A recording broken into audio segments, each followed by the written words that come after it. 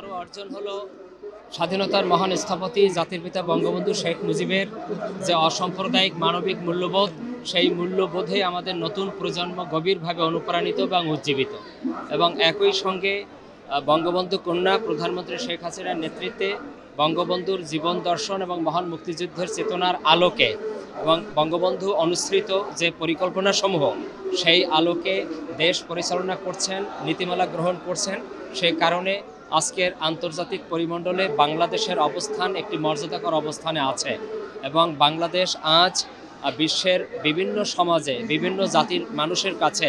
উন্নয়নের role model হিসাবে পরিগণিত। কিন্তু দুঃখজনক হলেও সত্য যে, আজকের দু বাইশে আমরা খুব দুঃখের সাথে লক্ষ্য করছি যে উনিশশো বাহাত্তর থেকে পঁচাত্তরের এই সময় যে স্বাধীনতা বিরোধী চক্র সেই, তারা যেমনিভাবে আমাদের মহান স্বাধীনতাকে, মহান নতুন, নবপ্রতিষ্ঠিত নতুন রাষ্ট্রকে সেটিকে নষ্ট করার জন্য, বিনষ্ট করার জন্য যে ধরনের অপপ্রয়াস ছিল, নানা ধরনের ষড়যন্ত্র ছিল, আজ দু হাজার